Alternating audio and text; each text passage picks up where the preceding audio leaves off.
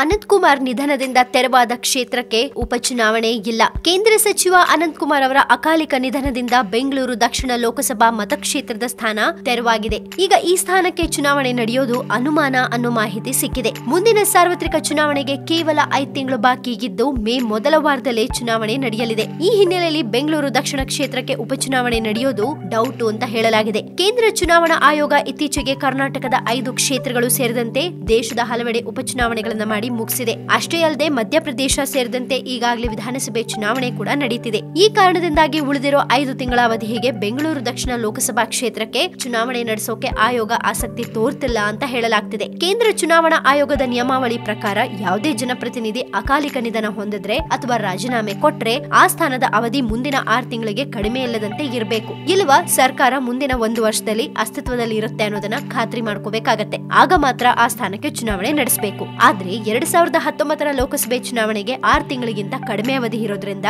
ಸಚಿವ ಅನಂತಕುಮಾರ್ ನಿಧನದಿಂದ ತೆರವಾದ ಸ್ಥಾನ ಮುಂದಿನ ಐದು ತಿಂಗಳುಗಳ ಕಾಲ ಖಾಲಿಯಾಗೇ ಇರಲಿದೆ ಅನ್ನೋ ಮಾಹಿತಿ ಸಿಕ್ಕಿದೆ. ಇನ್ನು ಇದ್ರ ಬಗ್ಗೆ ಚುನಾವಣಾ ಆಯೋಗ ಏನ್ ಹೇಳತ್ತಂದ್ರೆ ಸಾವಿರದ ಒಂಬೈನೂರ ಐವತ್ತೊಂದರ ಜನಪ್ರತಿನಿಧಿ ಕಾಯ್ದೆಯ ಸೆಕ್ಷನ್ ನೂರ ಐವತ್ತೊಂದು ಎ ಅಡಿಯ ಪ್ರಕಾರ ಸಂಸತ್ ಅಥವಾ ವಿಧಾನಸಭೆ ಕ್ಷೇತ್ರದ ಜನಪ್ರತಿನಿಧಿ ಮೃತಪಟ್ಟರೆ ಅಥವಾ ರಾಜೀನಾಮೆ ಕೊಟ್ರೆ ಅವರಿಂದ ತೆರವಾದ ಕ್ಷೇತ್ರವನ್ನ ಆ ದಿನಾಂಕದಿಂದ ಆರು ತಿಂಗಳ ಒಳಗೆ ಉಪಚುನಾವಣೆ ಮೂಲಕ ಭರ್ತಿ ಮಾಡೋದು ಚುನಾವಣಾ ಆಯೋಗದ ಜವಾಬ್ದಾರಿ ಕಾನೂನಿನ ಪ್ರಕಾರ ಮುಂದಿನ ಸಾರ್ವತ್ರಿಕ ಚುನಾವಣೆಗೆ ಒಂದು ವರ್ಷಕ್ಕೂ ಮೀರಿದ ಅವಧಿ ಬಾಕಿ ಇದ್ರೆ ಯಾವುದೇ ಕ್ಷೇತ್ರವನ್ನ ಜನಪ್ರತಿನಿಧಿ ಇಲ್ಲದೆ ಖಾಲಿ ಬಿಡುವಂತಿಲ್ಲ. ಮುಂದಿನ ಲೋಕಸಭೆ ಚುನಾವಣೆಗೆ ಮುಂದಿನ ವರ್ಷದ ಜೂನ್ ಮೂರರವರೆಗೂ ಸಮಯ ಇದೆ. ಕೇಂದ್ರ ಸಚಿವ ಅನಂತ್ ಕುಮಾರ್ ಅವರ ಅಕಾಲಿಕ ನಿಧನದಿಂದ ಬೆಂಗಳೂರು ದಕ್ಷಿಣ ಲೋಕಸಭಾ ಮತಕ್ಷೇತ್ರದ ಸ್ಥಾನ ತೆರವಾಗಿದ್ದು, ಈ ಸ್ಥಾನಕ್ಕೆ ಚುನಾವಣೆ ನಡೆಯೋದು ಅನುಮಾನ ಅನ್ನೋ ಮಾಹಿತಿ ಸಿಕ್ಕಿದೆ. ಇನ್ನು ಪ್ರಧಾನಿ ನರೇಂದ್ರ ಮೋದಿ, ಅಮಿತ್ ಶಾ ಸೇರಿದಂತೆ ಹಲವು ಗಣ್ಯರು ಮಾಜಿ ಸಚಿವ ಅನಂತ್ ಕುಮಾರ್ ಅವರ ಅಂತಿಮ ದರ್ಶನವನ್ನ ಪಡೆದ್ರು. ಅವ್ರು ನಡ್ಕೊಳ್ತಿದ್ದ ರೀತಿ ಆತ್ಮೀಯತೆ, ಮನೋಭಾವವನ್ನ ಕೊಂಡಾಡಿದ್ದಾರೆ. ನವೆಂಬರ್ ಹನ್ನೆರಡನೇ ತಾರೀಕು ಬೆಳಗಿನ ಜಾವ ಮಾಜಿ ಸಚಿವ ಅನಂತ್ ಕುಮಾರ್ ಅವರು ನಿಧನರಾಗಿದ್ದಾರೆ. ಶ್ವಾಸಕೋಶ ಕ್ಯಾನ್ಸರ್ನಿಂದ ಬಳಲುತ್ತಿದ್ದ ಅವರು